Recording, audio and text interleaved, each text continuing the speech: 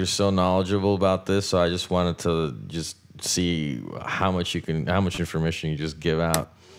There's something very interesting that was released on September 27th of 2020. And I'm going to go ahead and spell this out so anybody can look it up for themselves. It's patent number CN112220919A. Nano coronavirus recombinant vaccine taking graphene oxide as carrier. It was registered in the Chinese government patent database by Shanghai National Engineering Research Center for Nanotechnology.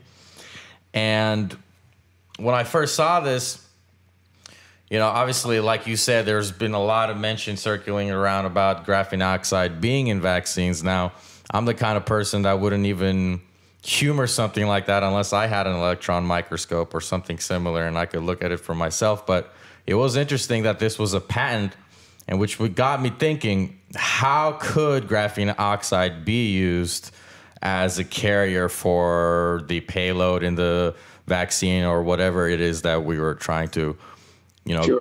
yeah. Sure. We, we, we've used we've used uh, oxidized carbon, graphene oxide type compounds for many years as carrier. We have lots of, of papers on this. and so what happens is is the, these compounds are quite anionic.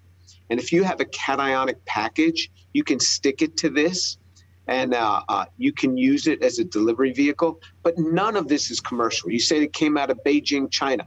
Yeah, Beijing, China. Lots of things come out. You do lots of academic research, but as far as an FDA approved drug, no way, no way. And and uh, um, and that that formulation. Do they show any pictures of that formulation and the color of the formulation?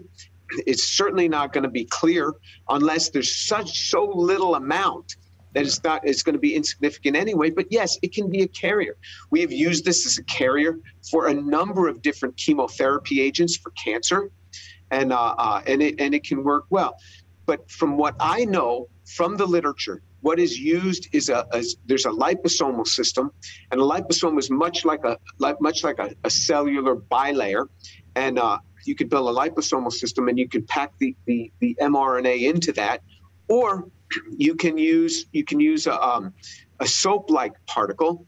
It isn't a lipid bilayer, but it just has a polar end and a non-polar tail, and you can package the RNA in that. There's papers on that. Mm-hmm. But remember, if that came out in 2020, the mRNA vaccines came out of uh, uh, Pfizer and out of Moderna, and those, those those finally came out in 2021. Were being issued. So, so so I don't know that that, that Chinese patent, I'd have to read it, but it, it, didn't sound like they were packaging it with mRNA. It is widely known that the tobacco and diet industries lobby governments with scientific propaganda for years until proven guilty in court. The artificial treatment of our water is the next corporate deception. For example, virtually every nation in Europe has rejected the use of artificial fluoride. International studies since the 40s have repeatedly shown that endocrine and neurological effects increase after repeated consumption, even at the levels accepted by U.S. government. Epic Water Filters is the the most thorough industry grade filtration system that Houston Ensemble has ever used. They reduce heavy metals upwards of 99.5%, such as lead and mercury,